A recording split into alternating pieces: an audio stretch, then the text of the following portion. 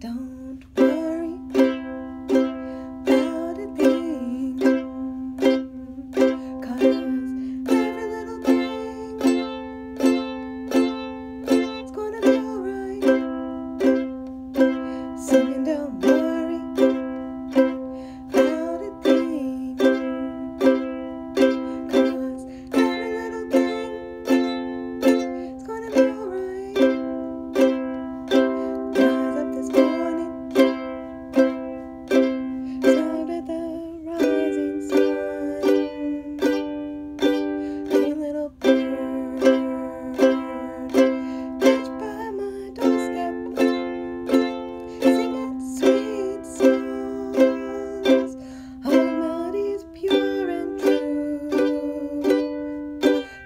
saying. This is my message to you.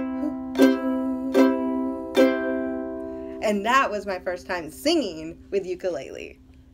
And my message is that whatever fear you're feeling or whatever uncertainty you're feeling, that everything will be okay. And thank you.